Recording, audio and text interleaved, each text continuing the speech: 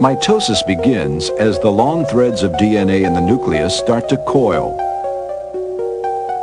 Having already replicated, these threads emerge as the double strands we know as chromosomes.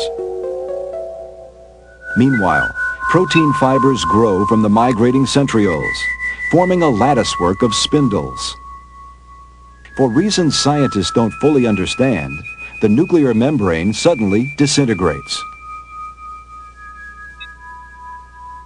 With amazing accuracy, a spindle from each centriole attaches itself to each of the chromosomes. Assisted by the protein fibers, the chromosomes move center stage. In a microscopic tug of war, the spindles pull each chromatid toward opposite poles. Other spindles push against each other in a ratcheting action that stretches the cell. The chromosomes then unwind and the nuclear membranes reform. With mitosis complete, the nuclei and cytoplasm separate, creating two new cells in this ongoing cycle that sustains all life.